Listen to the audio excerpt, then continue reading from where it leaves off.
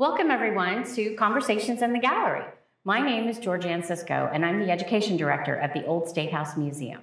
And hi, I'm Amanda Colclasure, the Youth Education Coordinator here at the Old State House Museum. Today, we're standing in the central hallway on the first floor of the museum. And since we're about to commemorate the passage of the 19th Amendment into law, we thought it would be fun to talk about suffrage and the related artifacts from our collection that are actually on exhibit right now. Starting in the mid 19th century, women in the United States began forming women's suffrage organizations. Suffrage leaders held meetings, lectures, parades, and other events to campaign for women receiving the right to vote.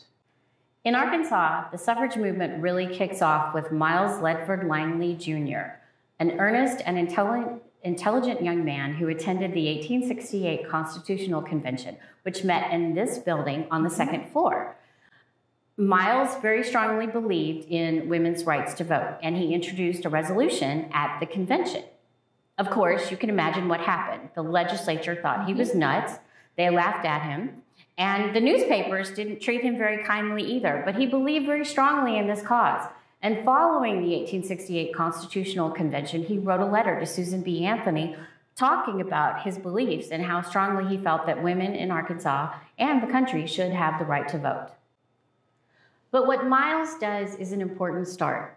And you see women in Arkansas beginning to form groups, local suffrage groups, mm-hmm. and then also joining national suffrage groups as they start the movement in our state. Not only that, Arkansas suffragists also worked with other organizations like the Women's Christian Temperance Union to further their message and gain new members. Yes, that is absolutely correct.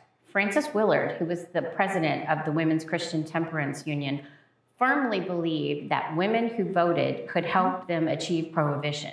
Now, the liquor lobby hated this idea, and they did everything in their power to keep women from getting the right to vote during this time period. And starting in the 1870s, you begin to see articles about women's suffrage in major Arkansas newspapers. Yes, you do.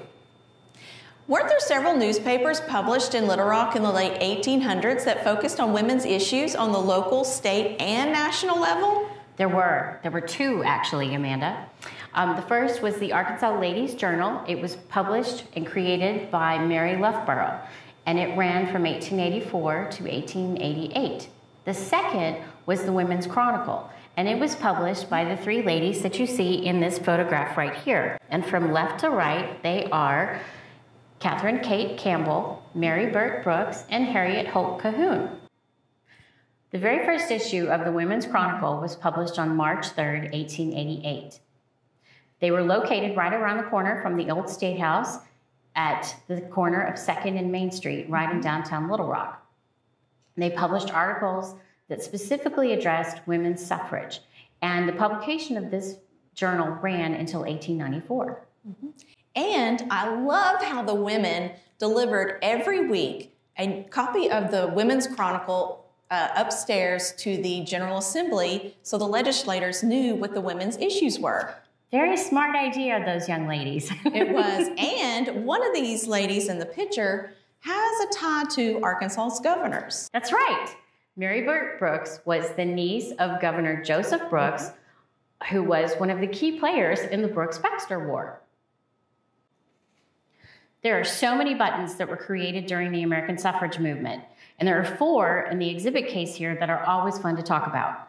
The first um, is one of the button designs that actually matches the lettering on Amanda's shirt. That black on gold button was created by the National American Woman Suffrage Association in 1912.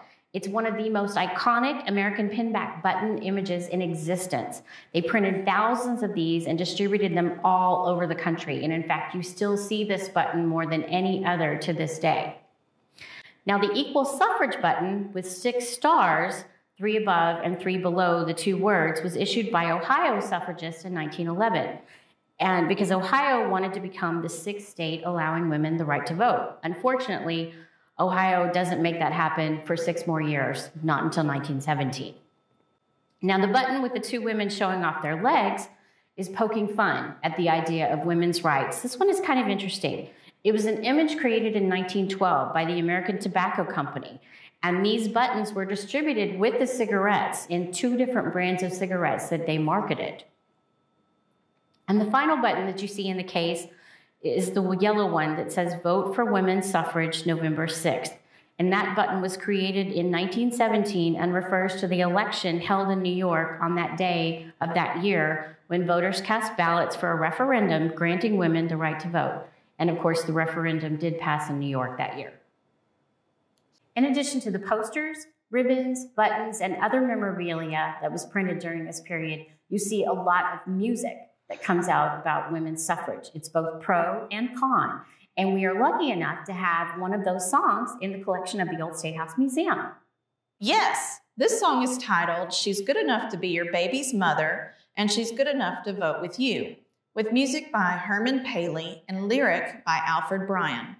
This piece was published with two different covers in 1916 by Jerome H. Remick. Both covers portray a smiling young wife with either a small child or baby. And as you can see, we have a version with the baby. The ultimate purpose of this song appears to be for commercial use, but it does reinforce several arguments made by suffragists. Here is the chorus.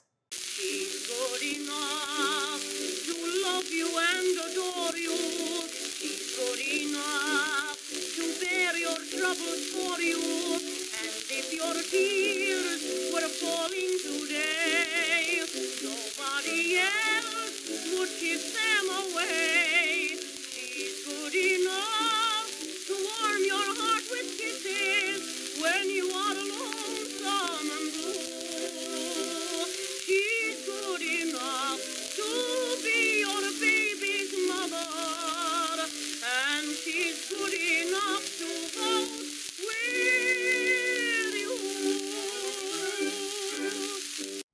seat of state government during much of this time, the Old State House was no stranger to suffrage events. Over the years, the building played host to political efforts, meetings, conventions, and rallies. The Arkansas Supreme Court, which met in this building, took a dim view of the liberation of women and emasculated the law in a number of late 19th century court decisions. But not all was bad, because in 1893, the Arkansas Woman Suffrage Association held their state convention in the large legislative chamber on the second floor of this building. Later on, there are several big rallies that take place out in front of the museum, including one in 1914 and again in 1916. Beginning in 1911, the Political Equality League began lobbying Arkansas state legislatures for a women's suffrage law. Yes, and the women continue to lobby each successive session of the state legislature in their efforts to pass a bill for women to get the right to vote. It's not until Charles Brough becomes governor in 1917 that Arkansas suffragists actually have an ally in their efforts, finally.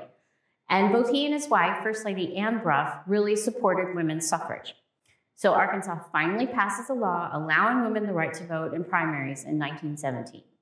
40,000 women voted in that first primary in 1918. That's amazing. It must have been so exciting for them to be able to cast their vote for the very first time. Agreed. In June of 1919, Congress passed a women's suffrage amendment to the U.S. Constitution and submitted it to the states for the ratification. On July 28th of 1919, Governor Brough called a special session of the Arkansas State Legislature for the purpose of ratifying the 19th Amendment to the U.S. Constitution.